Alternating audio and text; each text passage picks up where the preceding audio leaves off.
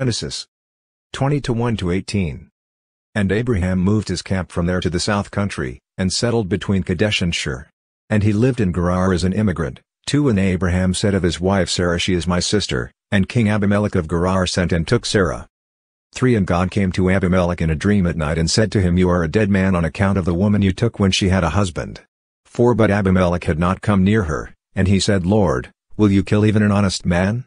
5 Did he not say to me she is my sister? And so did she say he is my brother, it was unintentionally and innocently that I did this. 6 And God said to him in the dream I myself knew it was unintentionally that you did this, and I on my part held you back from sinning against me, that was why I would not let you touch her. 7 But now give the man's wife back, because he is a prophet, and he shall pray for you and you shall live, but if you do not give her back, know that you shall die, you and all who belong to you. 8 And the first thing in the morning Abimelech called all his servants and told them the whole story, and the men were very much afraid.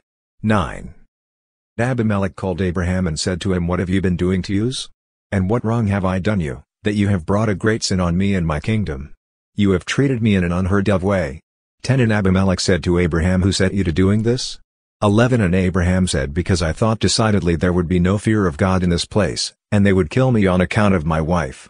12 And besides, she really is my sister, she is my father's daughter, only not my mother's, and she became my wife. 13 And when God made me a wanderer away from my father's home I said to her This is the way you shall befriend me, in every place we come to, say he is my brother.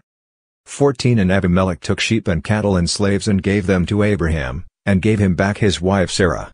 15 And Abimelech said Here you have my country before you, live in the part that seems best to you.